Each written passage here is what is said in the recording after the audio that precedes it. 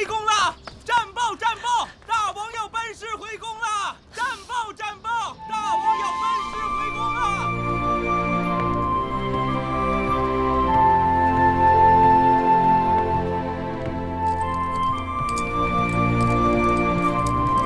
拜见大王！拜见大王，恭喜大王得胜而归！起来吧。谢大王！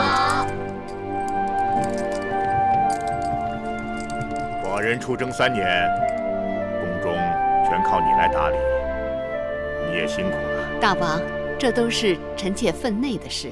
臣妾听说大王收复越国，转战齐国，大小之战数十次，三次受伤，心如火焚。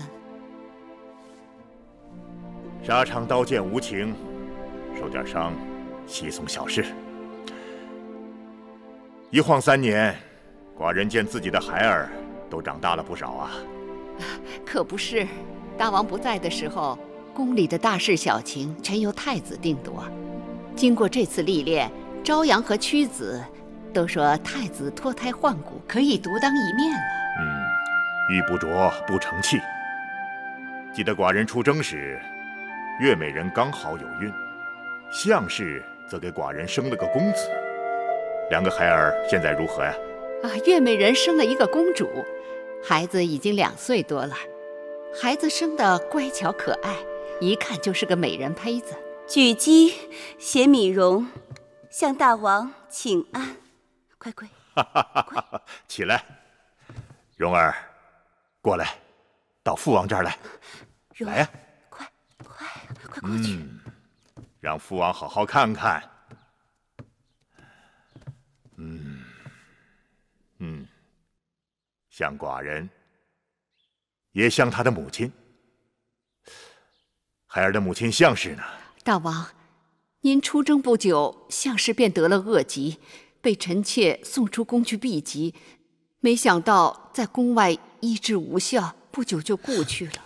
啊家人薄命，项氏可惜了。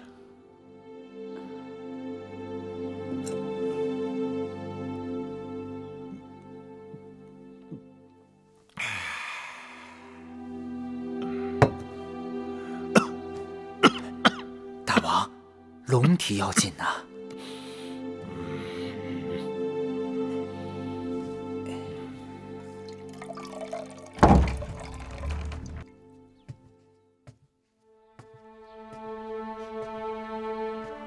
父王，何人啊？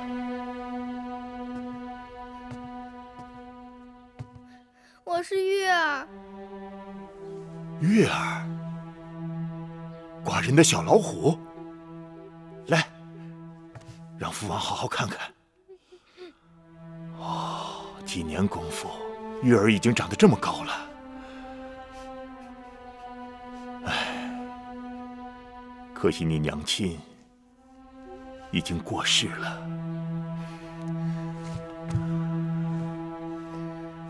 禀报父王，我娘亲还在世，什么？月儿娘亲没有死。月儿，你怎么知道你娘亲还在世？月儿前不久还见过娘亲，娘亲住在一个小屋子里，被恶人打。当真？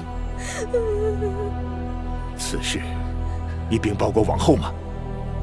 没有。